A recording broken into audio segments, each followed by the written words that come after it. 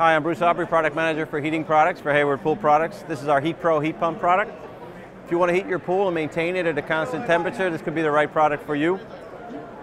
It's got value, it's got performance, it's got reliability. From a value perspective, titanium heat exchanger, long life and durability.